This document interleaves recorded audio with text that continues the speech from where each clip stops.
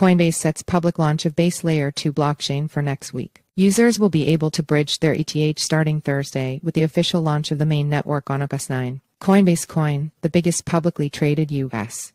Crypto exchange announced that Base, its Layer 2 blockchain built with Optimism's OP stack, will open to the public on August 9. Base went live for developers in July so that they could test applications on the new network. Starting Thursday, users will be able to bridge their Ether ETH to Base, Coinbase wrote in a blog post. The announcement comes as Coinbase is scheduled to report second quarter earnings and as it kicked off on-chain summer, a series of events in which creators and developers can make art or build applications on Base. Companies participating include Coca-Cola KO, gaming powerhouse Atari and non-fungible token platform OpenSea. The X-formerly Twitter account for Coinbase Wallet noted that it's already possible to fund Ether on Base even before the live network opens to the public. Over $68 million worth of Ether was bridged to the network last weekend, Coindesk reported earlier, citing blockchain data from Dune.